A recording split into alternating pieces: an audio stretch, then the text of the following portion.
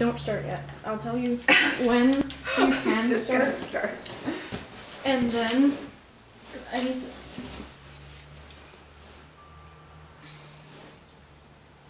Can you slightly to the left? All right, perfect.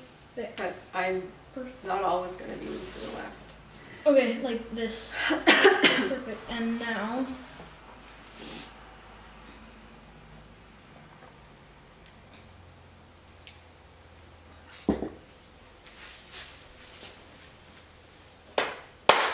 Now I can synchronize the audio things because that'll be in the audio. I you can know, see it I know. spikes. and- There, you can go now. I can, Mhm. whenever I want? Yep. Okay. Hello, my name is Jane Powell. I welcome you to my tutorial on story development. I'm a creative writer and I just love a good story. It may not look like it, but a lot of effort goes into creating a story that keeps readers hooked. You need to have a solid base, flow to your story, conflict, reaction, and great characters. In this tutorial, I'll show you how I go about planning my own storylines. There are many ways to plan a storyline, but this is the one that works for me. So, moving on, story development. So the first thing you need to do is decide who you're writing for. So who, um, who will be reading your book? Who's your audience? Develop your story according to the interest and age of your audience. So we need to describe in as much detail as possible the status quo, the main themes, the disruptions and crises, and the reactions and resolutions. At the end of this tutorial, I'll, uh, I'll post a, uh, a poster that describes these in detail. Just because most of you know the Harry Potter story, I'll be using Harry Potter to illustrate my building points. So first we're going to start with status quo. Since this part is really hard to draw, I did it in advance. so this is your status quo, okay? Your status quo includes the time period, setting, social political situation at the beginning of the story, and characters and relationships and values. So, so for Harry Potter, the status quo at the beginning of the story included England, because that's where it is set. And it was set in the 1990s. And it's all about a guy named Harry Potter. Ooh, just-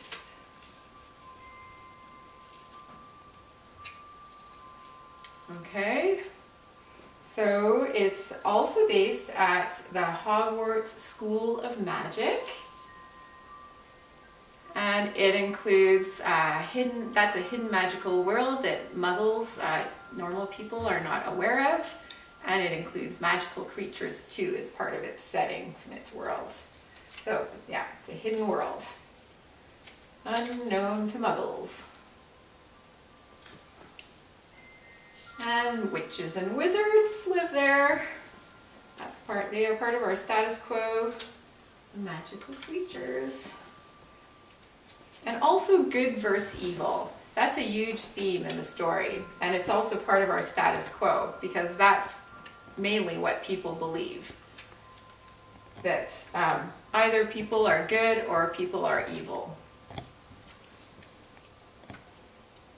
Blood lineage is a huge part of the status quo because depending on what family you're born into and whether you're from a, you know, a muggle family or a magical family and whether that magical family had roots far back will make a difference on your status in this story. And that's there from the beginning. And then we have the Malfoys, Draco Malfoy and his family. And they come from a very traditional family that go far back and they have a lot of influence over the magical world. So they are also part of the status quo at the beginning. And this story is, the protagonists in this story are all teenagers. Well, mainly, and then you have a few magicians and, or wizards. And Dumbledore is huge in this story. So his, uh, the way he influences the story throughout, right from the beginning, makes him part of the status quo. As well as Voldemort. Okay, so here we have our status quo. So this is right at the beginning of the story. Uh, before you know anything else about the story, the author creates um, creates the status quo, you know, the setting, what's going on right initially at the beginning of the story before things in the story start to change things. As the story goes along, then um, then the beginning will change, the status quo will change. But this is what we have initially, and we really have to know our status quo really well. We have to know what we're working with before we can move on to the next part of the story. Okay? So the next part I like to look at as like a volcano that hasn't quite erupted yet. So since this one is easier to draw, I'm going to do it. Well, I have a bit of help. I, do, I did outline.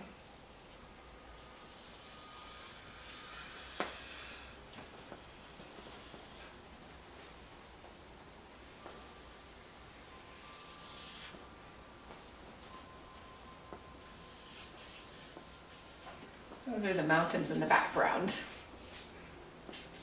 Okay. We have some lava coming down.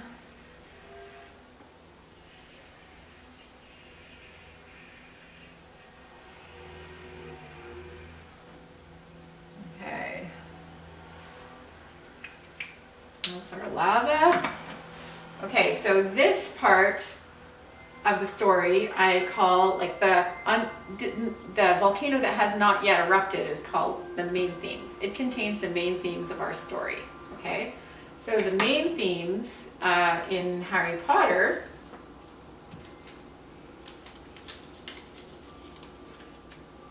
And the main themes of our story, they're the messages that uh, you're going to relay to your readers. So the thread that keeps your story together. Okay, so you have to know that really well as well. You have to know exactly what, what the point, what is the point of you writing this book? Who, who are you writing to? What messages do you want to relay? Okay, so J.K. Rowling wanted to talk about fate. That's one of the themes. Harry's parents die because they were fated to help save the magical world from evil as is Harry when he is marked with a scar and gains power through it. Okay, and he is fated to fight Voldemort. Fate is a theme throughout the story in many ways. Okay, so another strong theme that she wanted to talk about was death. Okay, so wizards in Harry Potter, wizards die fighting for what they believe in is the right path Voldemort lusts immortality. Friendship and loyalty is more important than life. There is beauty in death by the end of the story, especially if you die saving good from evil. And th this theme is really uh, strong throughout the whole story. In fact, um, I read an interview by J.K. Rowling, and she said that death was the strongest theme throughout the story, in her opinion. So she wanted to talk about death, So people die to protect good and they lust for morality, immor immortality in the story. Okay, love is another big one. So the only thing in this story that can conquer love is dark arts, but it never really manages to. Love always seems to uh, win in the end. It's the only thing that can conquer, yeah, the dark arts. As long as Harry hangs on to love, his faith in himself doesn't waver. When he feels connected to his parents and friends, for example, he is strongest. Okay, so the next one, the next big theme in Harry Potter is confronting fears. Okay, so confronting fears. So Harry saves the Sorcerer's Stone from Voldemort's grasp by first confronting his fears in the mirror water thing that I can't remember the name of. but anyways, uh, so he confronts his fears. And then that's a theme, like now I'm talking about the first book, but that's a theme uh, throughout all the books. It's all about confronting fears. And by the end, he confronts his fear of death and is actually willing to die for, um, for others.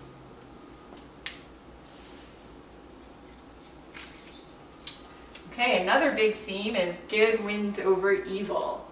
So um, there seems to be a recurrent theme in Harry Potter that um, basically if you do the right thing and you're good, um, almost always uh, you'll win in the end. Whereas if you are crooked, um, it usually comes back to bite you in the ass, especially if you're Draco Malfoy.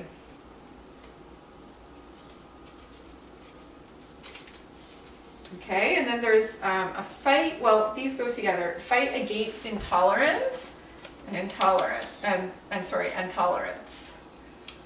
So there seems to be like a, like there's an ongoing fight against intolerance. Draco Malfoy's family is very intolerant of others.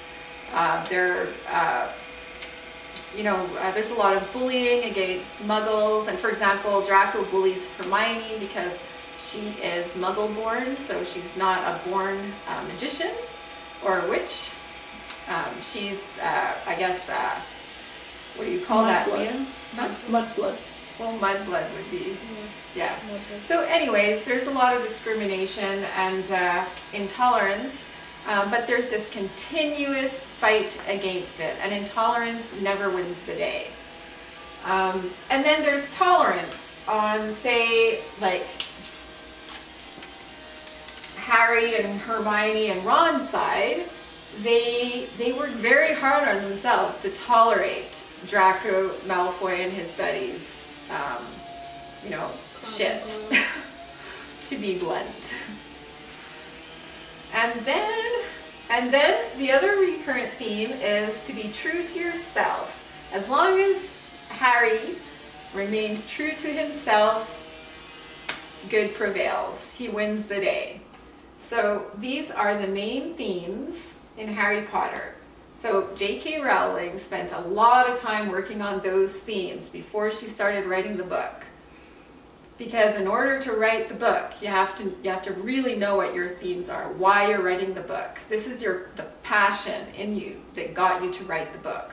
What do you want to say to your readers? Okay, so the next the next are the crises. Okay, so the volcano explodes. Woo. Okay. It's exploding all over the place.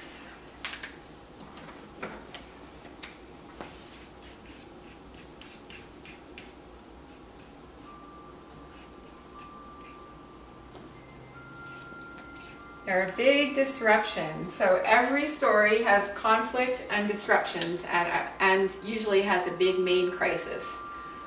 Okay, so this section, um, so it includes events that disrupt, disrupt the status quo. Everybody's having a nice old time here being normal and then something happens and they have to change their way in some way. Whether they have to change their way of doing things or their way of thought, they react in some way to the disruption and then the status quo changes. So, um, and events that change the storyline for the same reason. Something happens, it's like a, like a big, you know, pothole in the road or, or a washed away road and then you have to figure out a new path. Stories are like that as well when events happen. Um, events that cause self-growth in characters as well. A lot of events cause self-growth in characters um, and events that demand a reaction. and then there's the main crisis in the story. So usually you have like a bunch of little crises or conflicts, you know, before you have the main crisis. And this is also what happens in Harry Potter. Okay. So, um, as we know in the first book, the Harry's parents have been killed. Okay, so this is a big one. This causes a change to the status quo. Okay, and Harry is placed in an abusive foster home. Okay, this is a change too. And Harry discovers he has magic. This all of a sudden gives him some power with the Dursleys. The Dursleys are the are his adoptive parents, his uncle and aunt. Okay, and he's being bullied by them, but then when he finds he has magic, ooh, he has some power there. He notices that he, he has a little bit of control, whereas before he didn't feel like he had any. Okay, when Harry moves into Hogwarts, everything changes. Okay, at Hogwarts, he meets, uh, he becomes part of a community and he meets some lifelong loyal friends, Hermione and Ron, okay? Which are very important to his future missions. And then Harry joins Gryffindor House, which is known for its bravery. And when he joins Gryffindor House, his two friends Hermione and Ron also get accepted in. And so um, the friendships get stronger, alliances get stronger, and because Gryffindor House has such a great reputation for bravery, they are well esteemed by the other, uh, by the wizards and, and witches, teachers, and other houses. Okay, so then at one point, Harry acquires an invisibility cloak. And with this invisibility cloak, he can get all sorts of stuff done. Um, you know, he can uh, he can uh, get past Voldemort without being noticed. Um, he can uh, uh, he can do all sorts of stuff that he needs to do to win the day without being noticed. And he keeps this visibility cloak throughout most of the books. So it's it's a very important event. And then in the first book at the end, Voldemort attacks Harry. And this is a really big event too that demands a reaction. Okay, so now we move on to the reactions. So the reactions are, um, so how have you, how have the disrupting events changed the status quo? So how have they changed the characters and how have they changed the storyline? Okay, so we'll draw some characters for you.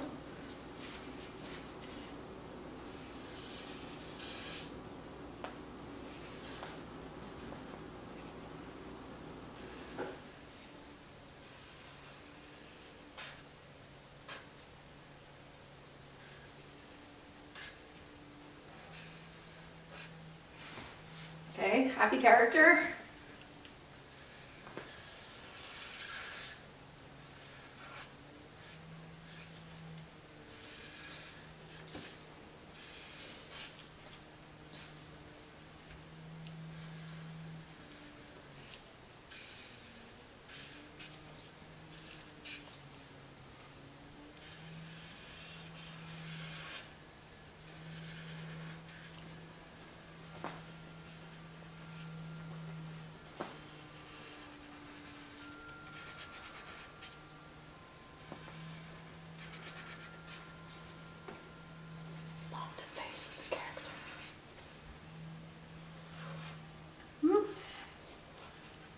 was faceless.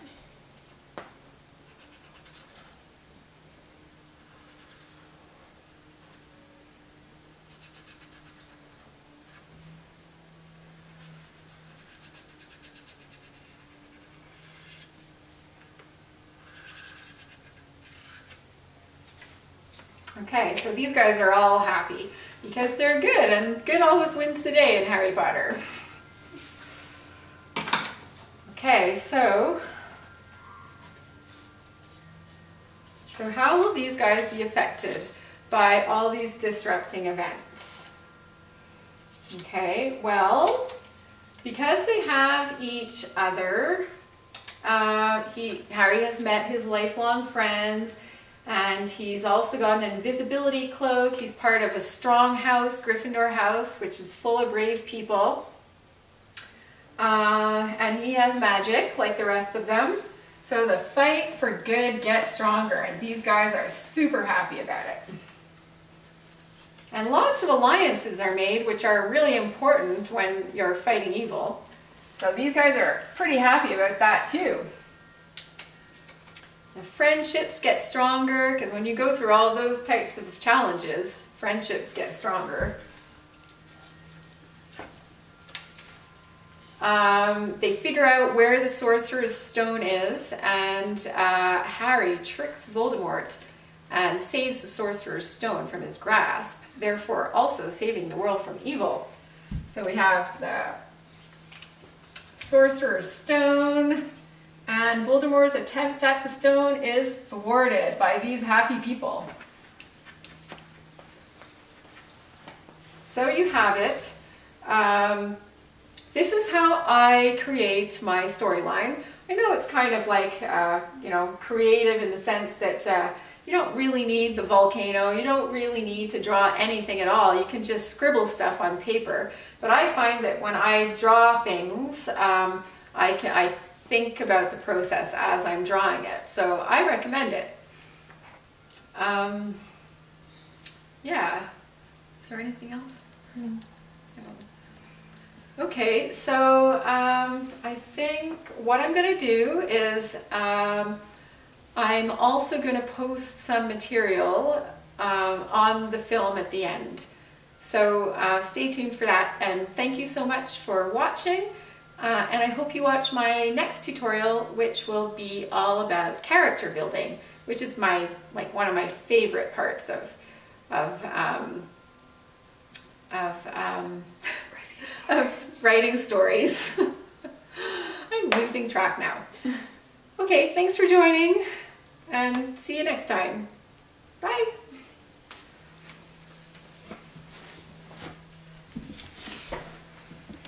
How many minutes was it?